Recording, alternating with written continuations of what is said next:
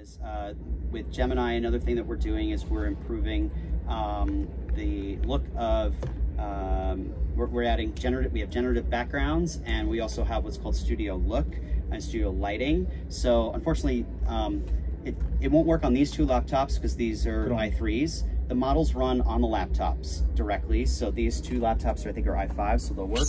So what I'd like you to do is exit the meeting,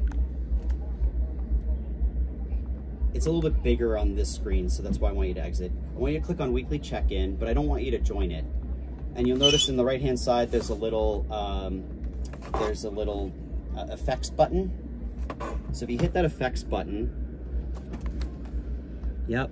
And I'd like you to go to appearance. So here's the effects button, click on that. Go to appearance. And you'll notice the first thing, studio lighting the right here these are two different light sources. So you can grab one of those uh, light sources and you can place it somewhere. And then you could choose the light color and then the intensity of that light. Oh, um, sorry, I'm recording, but uh, just, and so that's studio light with Gemini. Just a moment. and these models run locally on the device your I know, laptop it's doesn't just- have I just it wanted to see what, Yeah. it, what it shows.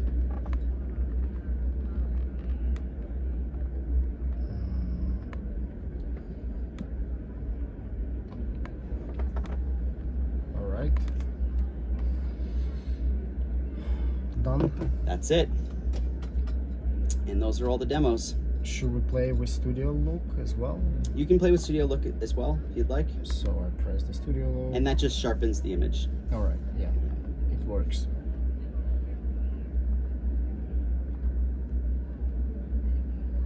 Nice. What about Portrait Touch Up? Uh, do you see my screen? I see, yeah, yeah. Yeah. What about uh, Portrait Touch Up? What is that? yeah portrait touch up is uh, sort of like smoothing out smooth, like more filters Yeah, yeah, and that that I'm I'm pretty sure that's been available for a while now. Uh, what, what about the the devices here? The the camera, the Chromebox. I think this is the Chromebox. Mm-hmm. What about it? So, yeah. So these do, are Do, do you want to talk about them? yeah. So this is uh, the Google Meet hardware setup. Uh, so inside of conference rooms, you can. This is a dedicated uh, device from Logitech. We've got a, a Chromebox uh, down below, and it's connected to this touch controller. Um, and Oh, so something. Yeah, there's a Ah. the Chromebox is there. So if you have uh, dedicated conference room space, um, you know, by having a Google Meet hardware set up, uh, you get a few things. One, one touch join. So you'll notice that when you create meetings um, and you set up meetings and you all of the meetings uh, when you add the device can be added directly the ca- on the calendar invites directly on the touch controller so if you schedule that meeting and you want to just join i see weekly check-in i've invited this room when i hit weekly check-in it'll just one tap join bring me into the meeting and so um, super easy so you don't have to use your laptop and hook up a cable to a tv for everybody to see so that's the byod mode And Um, this kiosk here also is a Google product, or it's not? Uh, Uh, no, no, No, this no. is yeah, This is for the- just for for the the- booth, the expo. yeah, for the expo, yeah. okay. Uh, Because I'm I sure saw there are facilities uh, like this. Some uh, digital thing here, so I thought that it is linked somehow to, to, Google. book a meeting. Yeah. Yeah, there are there are like many solutions around. I can. Yeah, but I know. Uh, do you have as Google a uh, like a, uh tablet or something that we can put on outside? we that work with some third-party vendors that do Ah, that. third exactly, parties. yeah, Okay. yeah. Like Robin. But Google Meet does not have We don't. s- something integrated there. No, not not like we don't have an uh, an offering directly, but we we offer we have integrations with third parties that offer booking solutions for tablets like that. Actually, is- he knows. yeah, it is pretty integrated, but they just don't produce it by themselves because it's another business, right? So they give all the licensing, they license the third-party producers like Logitech. In case for booking uh, the meeting room, there are Robin, there are some Swedish companies. There is pretty choice of uh, you can choose from. Lots of flexibility. Yeah, yeah, yeah. Yeah, But they okay, are but not- licensed not the and device fully itself, integrated. Not the device, but the, the application that has to be installed on this device. Okay, that Yeah. shows the pre-booked meetings. and Absolutely, and yeah, they are fully certified by Google, so they work perfectly with the calendar of the Ah. meeting room. Yeah. Well, why not? Uh, Google don't don't offer this in the workspace. This is uh, what I mean. Yeah, I, it's a really good question. I I think uh, there are a lot of great players that have really um, in-depth, complex solutions, and so instead of trying to build one, we, we'd rather just partner with one. Compete against your partners. Yeah, yeah. So I think that there are really great solutions that are available for that.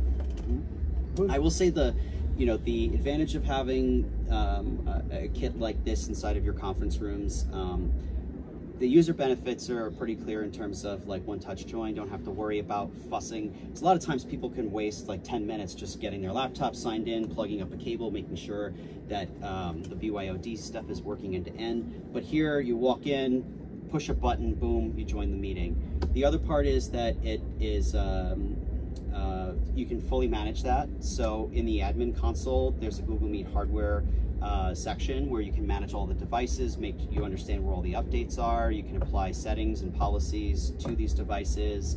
Um, you know, you could set the defaults of all of these things. You can check the health. Um, so being able to fully manage that solution and understand insights. I'll give you an example, like room occupancy. We started out talking about room occupancy being a lot of challenge, uh, being a challenge Room, for a lot of people. Room occupancy, like Okay, how often yes, are rooms okay. being used and like utilization, utilization of those rooms. Um, so like there are organizations that struggle with like, I don't have, there's no conference room free for me to take this meeting, right? And then you see that there's no one in the conference room, right? They'll book it and then no one's using it. Um, and so we have a, but like a, uh, our dashboard offers insights to give you ins in, insights into seeing utilization of these rooms, how often they're being used. Um, so the full How does it do that? Does it like scan the room to see the number of people and log it?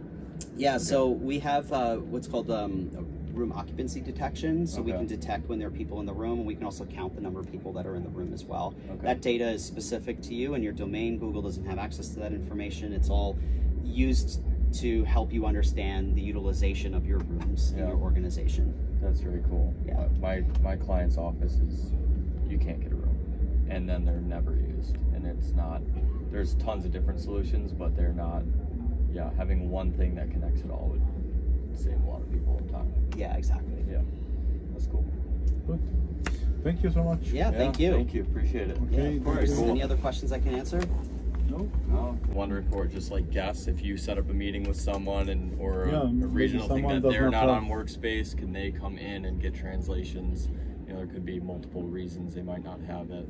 So again, like so, so like take notes for me. If the meeting organizer has the SKU, then then it'll do the summary for everyone if they're external. For like automatic translations, they're not going to get it if they don't have that SKU, even if the meeting organizer does. Okay. Yeah. Yeah, it's case by case. Is it? Yeah. Okay. Um, great. So let's um, let's move on. We're going to talk about dynamic layouts and dynamic tiles. So representation equity is really important. I'm gonna step Um. And so, like today, you'll you'll see here. This is the room view, right? And we've got a bunch of names here because all of you checked into the room. It shows all of our names. Um, and so what we're doing is we're introducing dynamic tiles and dynamic layouts. And and what what dynamic tiles does is it'll it'll look uh, for the three faces that are in the room and now split you into individual tiles, which is pretty cool.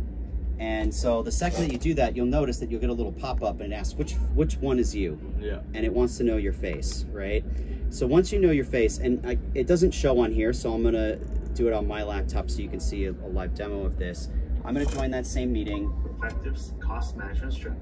and all of your faces are now in three separate tiles with names. So Mhm. all of your names now are, you have proper attribution, Yeah, yeah, yeah.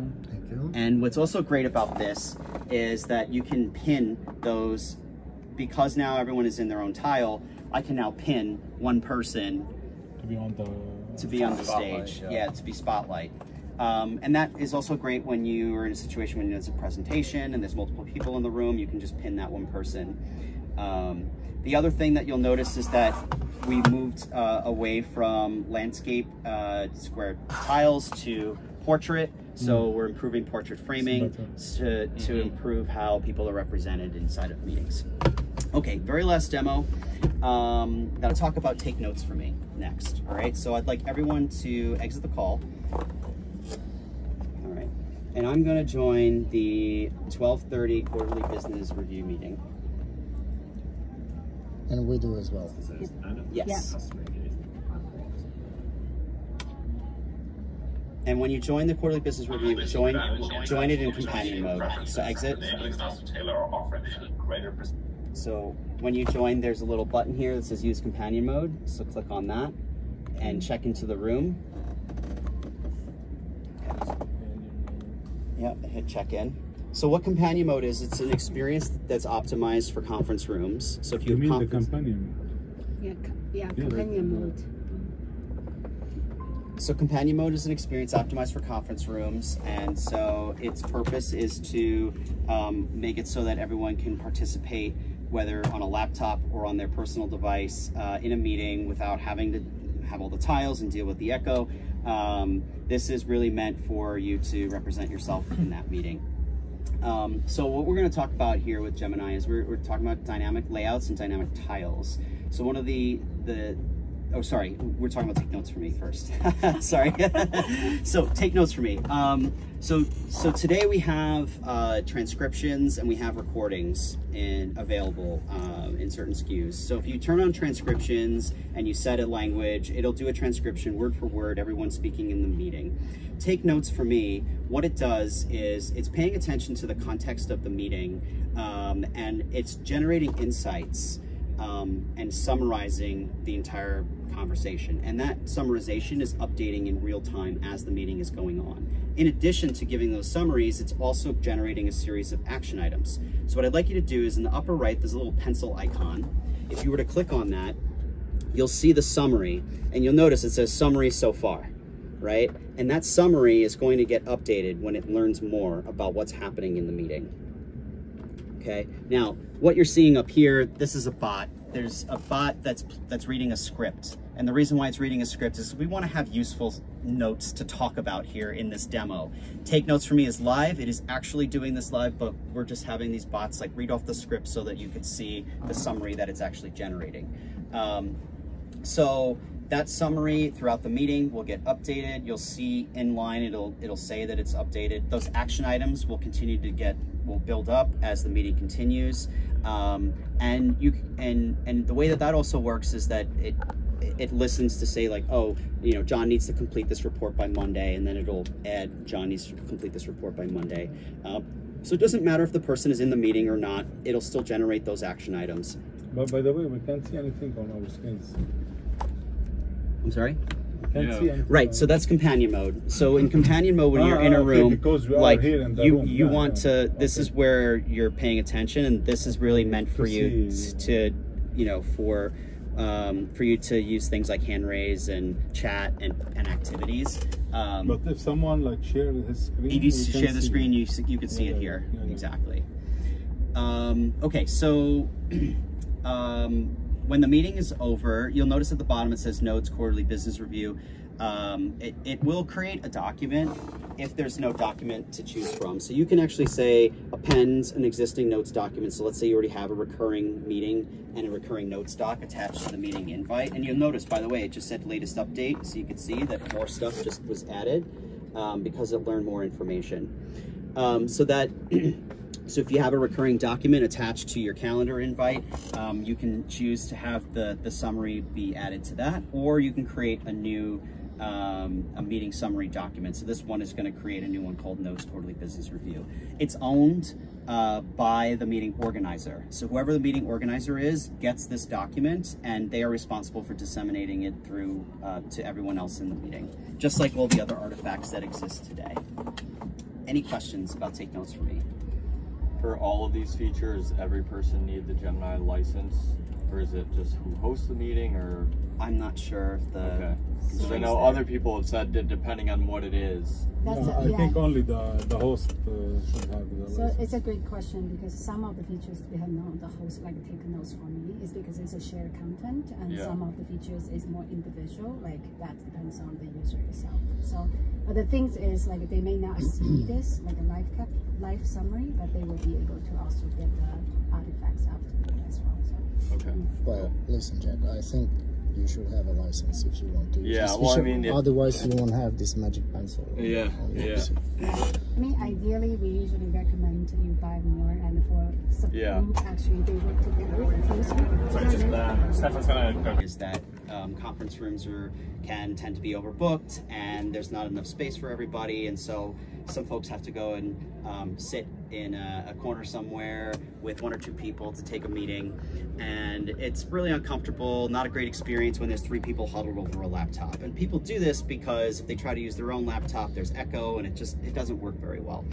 Um, so we've we've solved that problem today. Here here's what I'd like um, each of you folks to do. I'd like each of you to on your laptop. There is a 12:30 meeting called Weekly Check-in. Customer satisfaction. and I'd like you to join that meeting.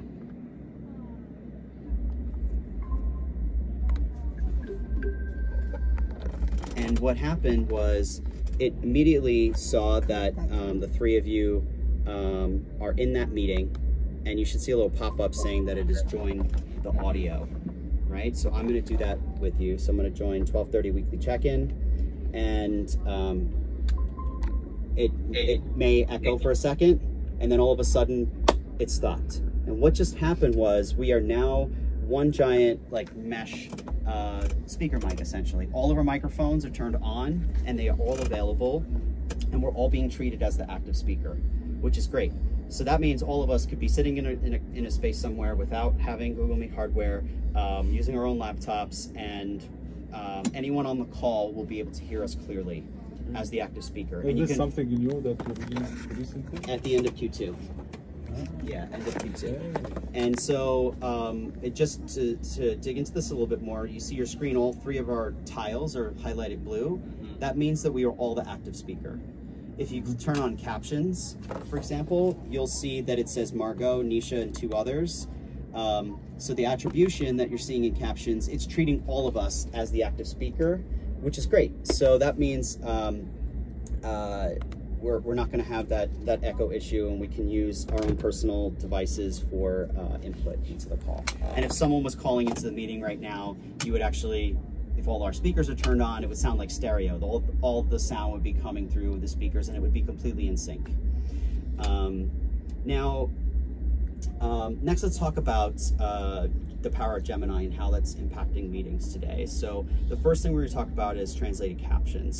What I'd like you to do is if you move your mouse just a little bit, you'll see in the upper, you'll see on the right-hand side, there's a little cog wheel and it says English. So I'd like you to click on that. Where is this? Uh, yeah.